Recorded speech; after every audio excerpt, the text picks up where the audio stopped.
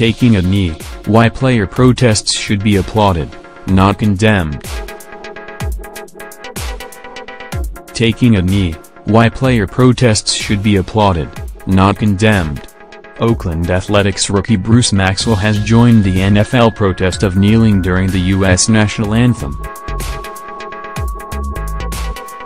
Opinion, let's throw a hypothetical at you. It's Sunday night and the crowd of 83,000 at ANZ Stadium is getting restless. We're minutes away from the NRL Grand Final between Melbourne and North Queensland. Millions of people around the world yes, the world, are watching. The Dallas Cowboys players, coaches and staff take a knee prior to the national anthem before the game against the Arizona Cardinals at but first, ladies and gentlemen, please be upstanding for the national anthem. As former Australian Idol contestant Ricki-Lee takes the microphone and channels her inner Julie Anthony, a ripple of discontent can be heard in the crowd. Colin Kaepernick, left and Eric Reid of the San Francisco 49ers kneel in protest during the national anthem prior to playing the Los Angeles Rams in their NFL game. Not everyone is standing. Both teams are lined up, facing the grandstand, but Storm players Will Chambers and Josh Addo-Carr have taken a knee, their heads lowered. Both players are indigenous and long after the match they explained to reporters huddled around them that they took this stance because they could no longer tolerate important issues about the treatment of their people being swept aside. This month, the United Nations condemned Australia for its extraordinarily high rate of incarceration of Aboriginal and Torres Strait Islanders as a major human rights concern.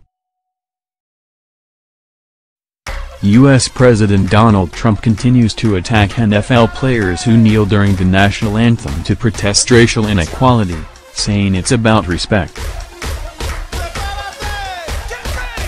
So said the UN's Victoria Tauli-Corpuz, there have been allegations of serious abuses, including violent strip searches, tear gassing, hooting and prolonged isolation committed against Aboriginal children in custody.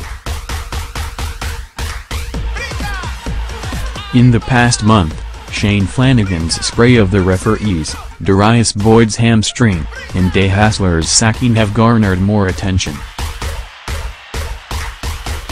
Now, because of the simple gesture of two footballers, it is the issue everyone is talking about. Not just rugby league, but the country. The world starts watching, too. As I said, this is a hypothetical scenario but it's worth investigating in the week when the smallest of issues will be splashed all over our newspapers with headlines in war type.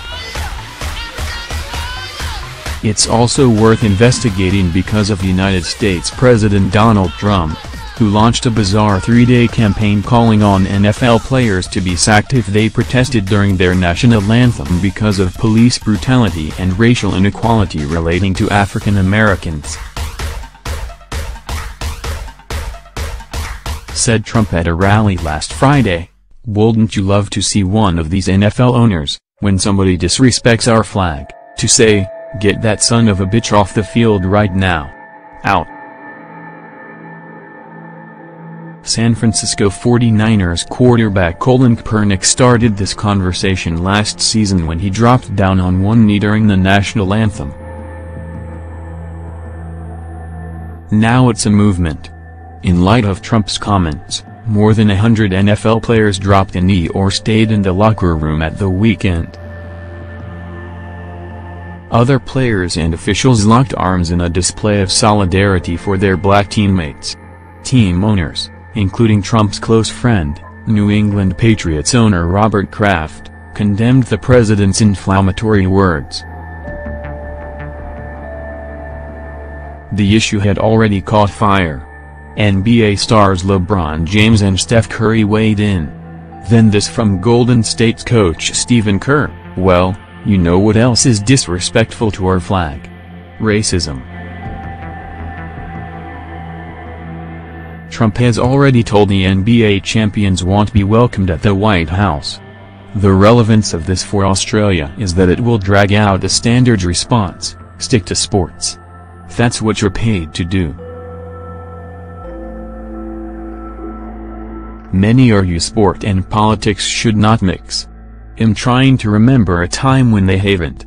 A week ago, Australia's major codes declared they were backing same-sex marriage.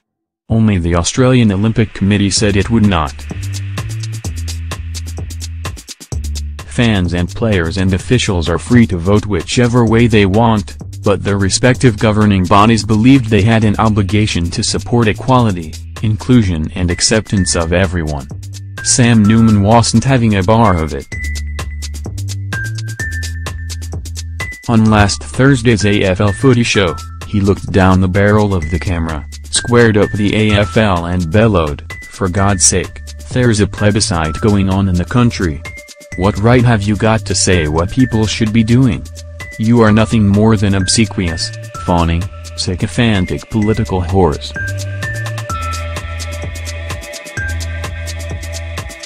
You have no right to get involved in political messages. Let people go to the football and do what they want to do, just watch the game. Co-host Eddie McGuire countered, if you don't stand for something you stand for nothing. NRL Footy Show co-host Erin Molan backed up Newman's stance. My reluctance is that sporting codes represent thousands of people and I am very against any of them feeling cut off as a result of that code coming out in favor, she said. What about the people who work within the AFL who don't believe in same-sex marriage, who now feel alienated and not part of their sporting code? Apparently, under this premise, those who feel alienated by the AFL not backing same-sex marriage do not matter. Where some see a political issue, others see a basic human rights issue. Where some see the divisiveness of a sporting code making a stance, others see it bringing the game closer together. Adam Goodes took a stance about racism and the backlash effectively ran him out of the game. Critics still claim the 13-year-old Collingwood supporter who called him an ape is the real victim. Only with time usually decades does adulation come to those sportspeople who decide they're in a position of power to make a difference for the greater good. Muhammad Ali had many fights in and out of the ring but those in the name of civil rights made him a reviled figure in his day, a legend only years later. Tommie Smith and John Carlos famously wore black gloves on clenched fists and raised them into the air on the medal dais after the 200 meters men's final at the 1968 Olympics in Mexico City. As they left the stadium, they were booed and racist insults fired at them said Carlos only recently, I had a moral obligation to step up. Morality was a far greater force than the rules and regulations they had. The man who came second in that race, Australia's Peter Norman, had been completely supportive in what Smith and Carlos were doing. He never competed at another Olympics and slipped into a deep depression. Australian sport forgot him. Only in recent years, and following his death in 2006, has he been recognized for playing such an important role in an important protest. Stick to sport or drop a knee and send a message about what's right and wrong? Or, at the very least, start an important conversation? Last word to Nelson Mandela, who probably understood it better than all of us. Sport has the power to change to change the world. It has the power to inspire, it has the power to unite people in a way that little else does. It speaks to youth in a language they understand. Sport can create hope where once there was only despair, it is more powerful than government in breaking down racial barriers.